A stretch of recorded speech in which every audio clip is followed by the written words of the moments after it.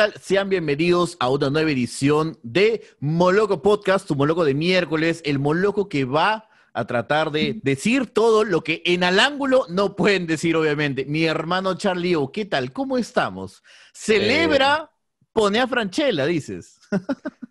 Oli, eh, bienvenidos todos a Moloco Podcast, el podcast de la gente decente. Celebra eh, Racing, Racing, el equipo, in- equipo con, con hinchas célebres, como por ejemplo el Gordo Porcel, ¿no? Ah, Hincha- bueno. Hincha de Racing, el Gordo Porcel, olvídate. Saqué una- un conejo de la galera ahí también. Lo- o lo que era el gordo porcel, ¿no? Porque Lo que era, ¿no? Los old school, te he sacado los old school, pero Los bueno, sí. school. Estamos con, hemos hecho este programa en esta, eh, si de repente estás viendo en su estreno, Así eh, es. usualmente nosotros estrenamos los miércoles plan de 6, ahí Moloco Merienda, pero ahora lo estoy subiendo mucho más tarde porque queríamos salir después del partido de Alianza, ya vimos el resultado, no Así esperábamos tampoco mayor, ¿no? Si habido la sorpresa fue porque de repente eh, pintaba para una golea más estrepitosa, ha terminado 2 a 0. Este, una prueba más, mi querido Hugo Les, de que el fútbol peruano, pues, en temas de competencia a nivel internacional está todavía Sí. muy alejado y lo que eh, de alguna manera es otra, otra prueba más en, este, en esta teoría que yo vengo sosteniendo de que nuestra clasificación al mundial fue más un desorden en la Un- naturaleza. Un glitch en la glitch- Matrix. Un sí. glitch en la Matrix, como bien dirías tú Así es. antes, pues, que una cuestión eh, sostenida, pero antes de entrar a ese detalle, Hugo, Así el es. fútbol peruano de repente se detiene con esto. Lo que no puede detenerse, lo que no es. puede detenerse es tu futuro, mi querido Hugo. Obviamente, ISIL te brinda un modelo educativo con lo último en tecnología para que puedas, ya sabes, continuar tus estudios desde tu hogar, desde tu casa. Ujú. Así como ves el partido de Alianza hoy día, igual, pero el HDMI va para tu monitor y listo, ves ahí toda tu educación, Charlie, ya sabes, clases y laboratorios remotos en tiempo real. Y obviamente, Charlie, ¿qué pasa si por alguna, algún imprevisto, ¿no? Como que se me, por ahí este, se me pasaron los tallarines, se me pasó la hora, este, me confundí los horarios, ¿qué puedo hacer, Charlie? Es que tú sabes, Hugo, que a veces uno está este, eh, anotando no sé cuánto. Profe, ¿qué dijo? ¿Qué dijo? Profe, ¿qué dijo ahí? Repita, repita. Eso ya es el pasado ya. Así Ahora es. en estas clases remotas todo queda grabado. Así que tú puedes agarrar y revisar de nuevo, no hay ningún problema, eso te ofrece ISIL. Y todo Así eso es. con cuotas desde 540 soles. El cierre de inscripciones es el 26 de septiembre. Ingresa Oh. en isil.pe o bien síguelos en sus redes sociales. Ya lo sabes, isil.pe. Ven, está, está buena la data. Tal cual, alguien incluso podría decir que esas clases quedan como podcast ahí para que la gente pueda ir, lo escuchas como y listo, ahí videopodcast. Puedes ahí que- hasta, hasta que te quedes dormido ahí, ya te levantas aprendiendo a diseñar como, como un trome. ¿no? Claro. Todas las carreras que tienes eh, eh, para aprender en ISIL.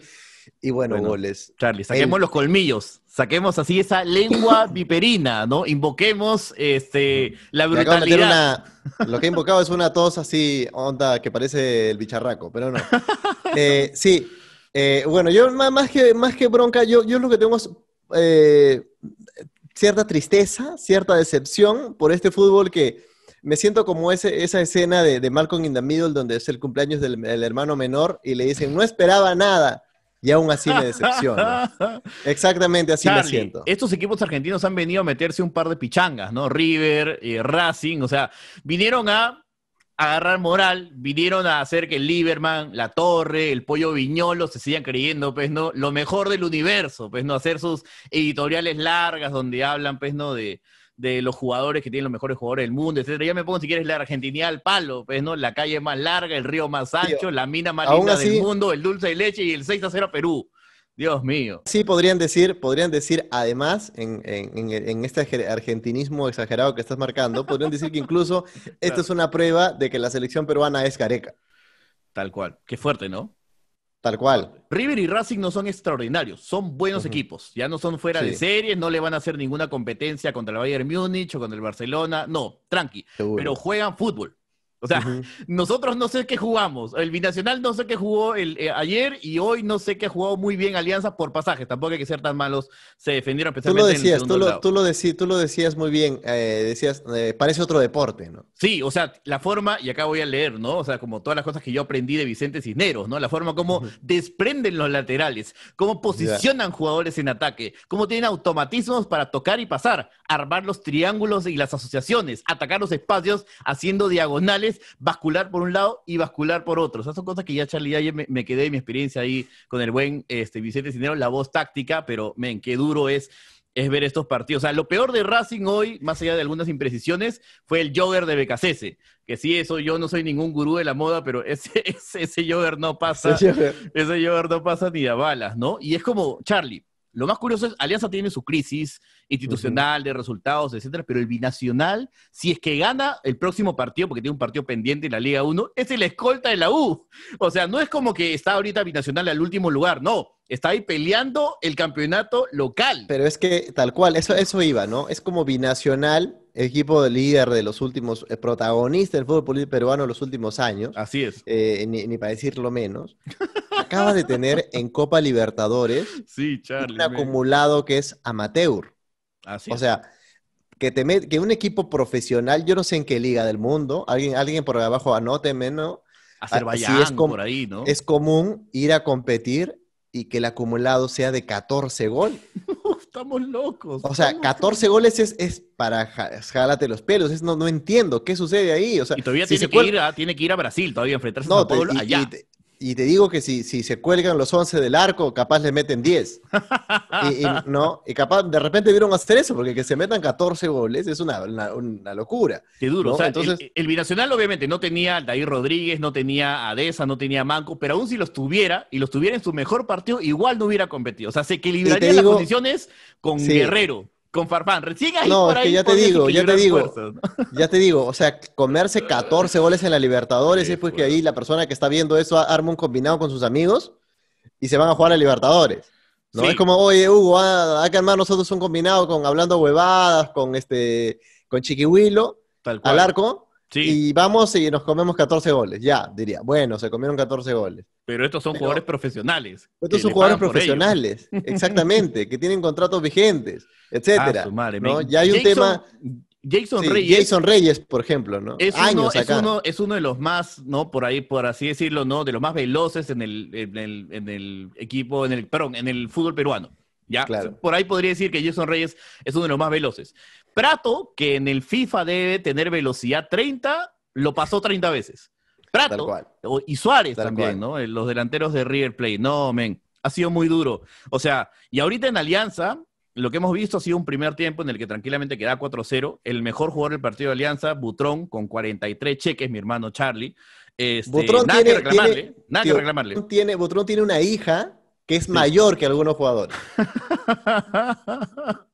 Y, eso y no, lo pongo, y no lo pongo necesariamente como una crítica. No, O no, sea, no, para está. nada. Para bien y para mal, Butrón. Sí. Siempre pide el cañón. Siempre pide el cañón. ¿ah? No, profesional para mantenerse jugando. Tal cual. Y yo ya Excelente soy- profesional y terrible Sí. terco también debe ser. Y, y siempre, y siempre Butrón es el, el incendiario, el primero que como que le ponen el micro y suelta y quema a la gente en Alianza. Desde que era gente en la- joven. en la desde que selección, era joven, ¿ah? Sí, claro. favorito y chévere, pero obviamente con la cabeza caliente, pero en otros aspectos de la vida, 10 puntos más bien Butrón, ¿no? Y lo que sí, este, lo que tengo apuntado acá es que obviamente atajó un penal y en el segundo tiempo, bueno, ya Racing se frustró y Alianza Mm. tuvo un par, Charlie, tuvo un par de jugadas, pero técnicamente no estamos aptos y hay este compadre que se llama Cristian Zúñiga, Charlie. Y siempre hay, ¿no? Estos extranjeros que llegan acá, ¿no? De, por, suerte vendrán de la primera división de Colombia, Argentina, pero lo más probable es que vengan de segunda, de tercera y se vienen a pasear.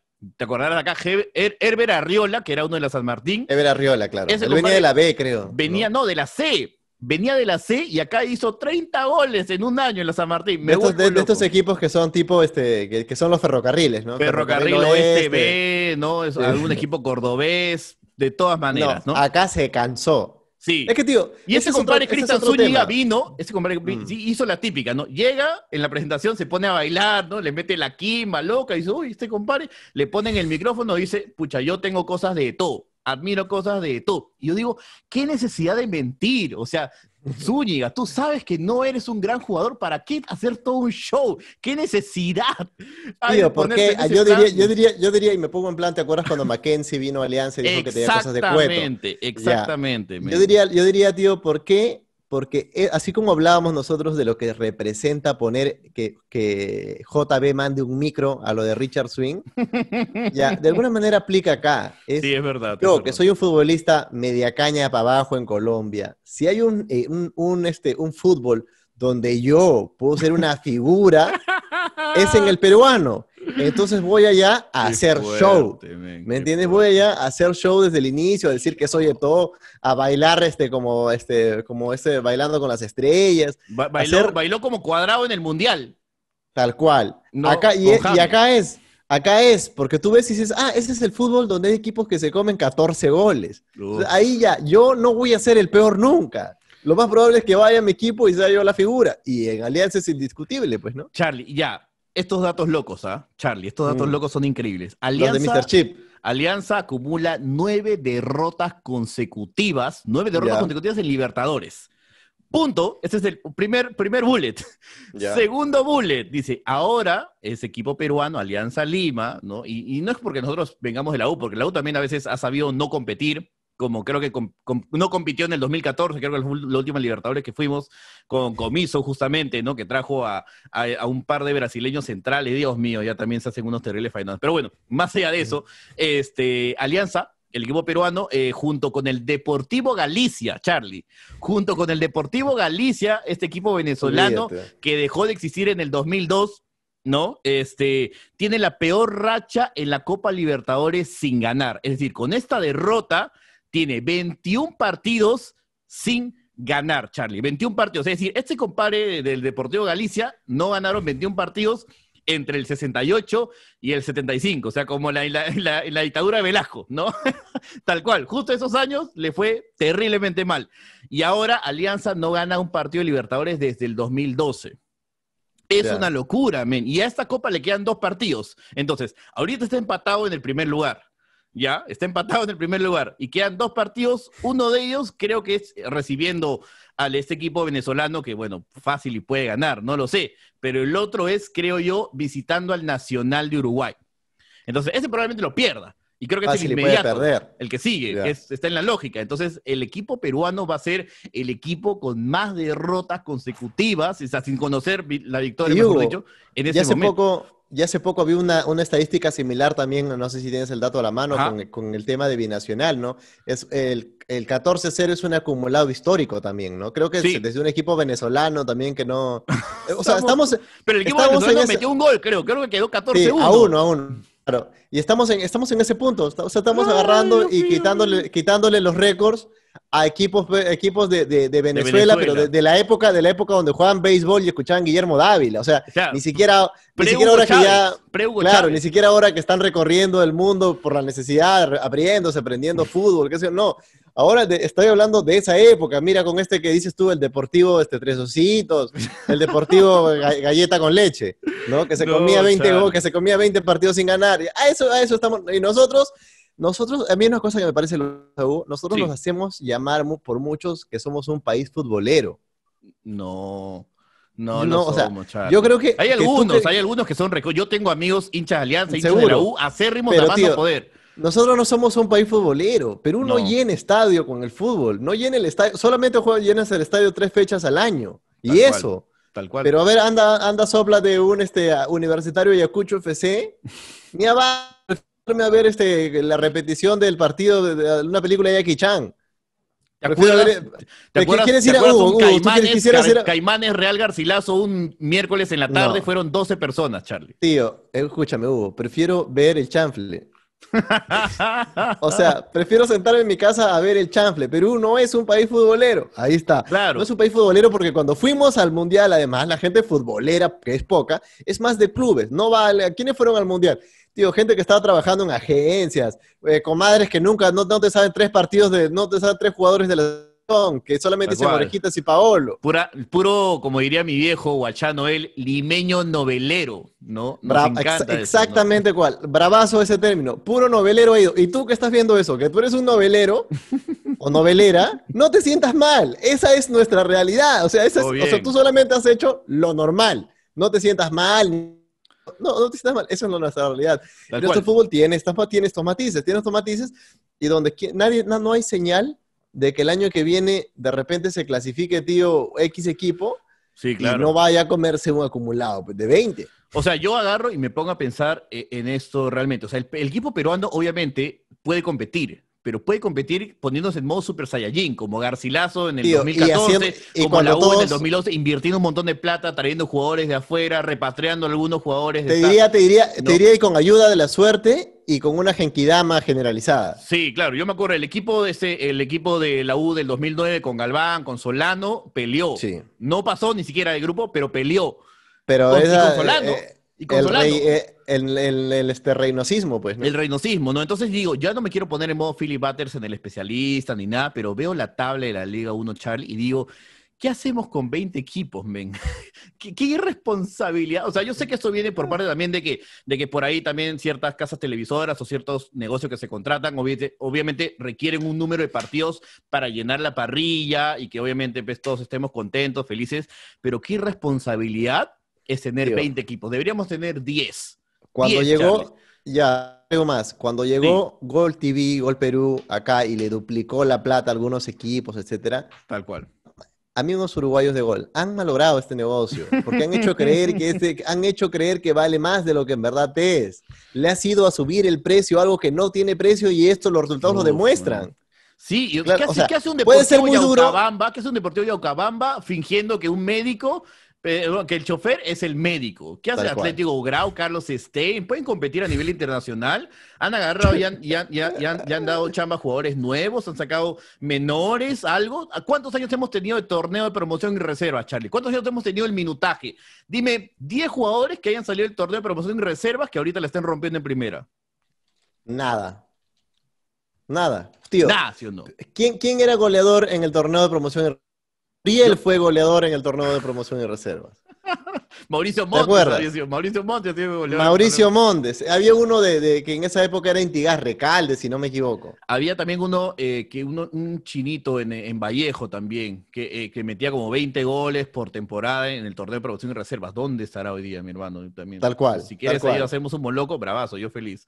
Pero estamos muy mal. O Estamos sea, en teoría, en teoría, en teoría era obligar la bolsa de minutos y todo eso era sacar nuevos valores, gol, no sé Sí. cuánto, ¿te ¿Y- acuerdas? ¿Y, y dónde Ya. están? ¿Dónde están? Tío, No. ¿dónde están? ¿Dónde están? ¿Dónde están esos jugadores? Olvídate, tío. Claro, ¿Dónde están? y es como que me pongo a pensar y digo, eso va para la U, para la Alianza, para, para Cristal incluso, pues, ¿no? Que, o sea, a ver, también uno dice, oye, hay que trabajar en menores, pero también ese trabajar en menores es a veces muy gaseoso, ¿no? ¿Cómo se debe trabajar en menores? Como el Barcelona, sí, pero también el Barcelona a veces también viene un tema de generaciones brillantes que te sale un Iniesta y un Xavi, y de ahí pasan como que 10 años y no hay nada.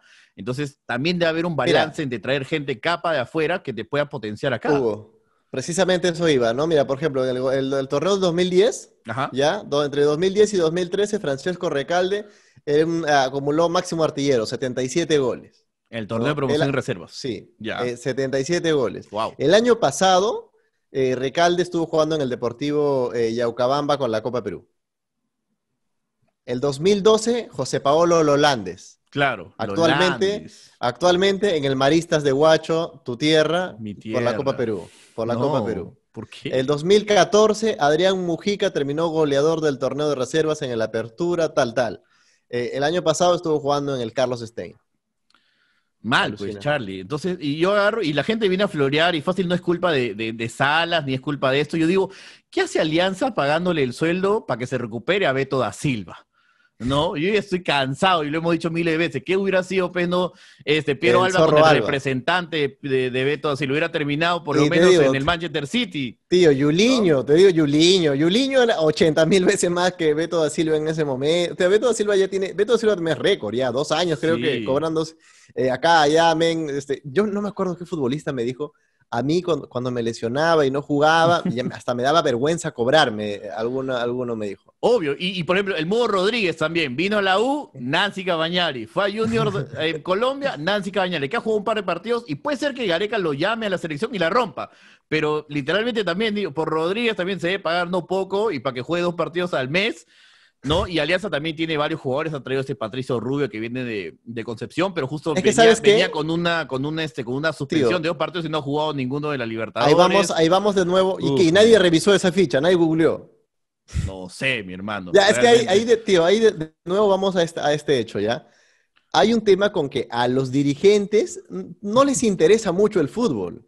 Les interesa más otras cosas. Bravazo, eso es su vacilón, pero vamos a tenerlo claro, ¿no? Porque cuando hablábamos nosotros de Sandoval mañana sa- salía en un noticiero, no sé cuánto, increpando, ¿no? Apuntando un tombo a un policía diciéndole, oye, tú no sé cuánto, el otro, y lo votarán del equipo, a los dos días consigue otro. Tal cual. Mira, Jan, a Jan Deza, tío, se cansaron de darle oportunidades en Alianza, le habló el utilero, le habló el capitán, le habló Marulanda, a todos les dijo que ha cambiado, y, y hasta, hasta Josmeri le dijo que ha cambiado, y ya que terminó con Shirley. y la Ah, cuestión- madre, Y la cuestión es, el día siguiente consiguió binacional. ¿Por qué? Porque a estos jugadores o a estos, a estos directivas no les interesa, pues. No les interesa realmente, ¿no? Eso es una cuestión Uf, locaza.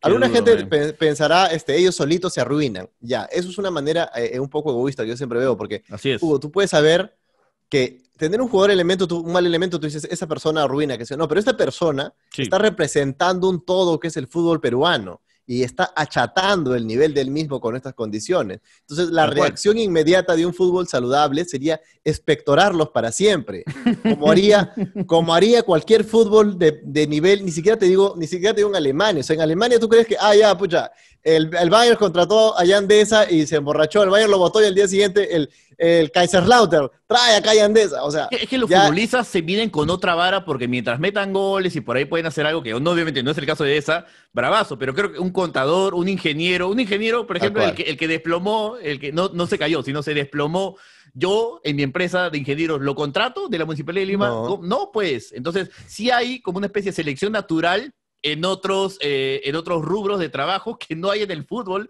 porque claro, si tengo un este, universo de jugadores para llenar 20 equipos, Charlie. 20 equipos, obviamente a Deza no le va a faltar club, siempre va a estar ahí. 100%. Y Magali feliz con los, con los Apais, Moloco feliz también hablando de vez en cuando, porque ya aburre también. Pero llegamos a este, a este plan en el que fútbol peruano está en modo kamikaze. Y empiezan ahorita las eliminatorias sin Guerrero y estamos empezando con visitando Paraguay, recibiendo a Brasil, yendo a Chile y recibiendo a Argentina.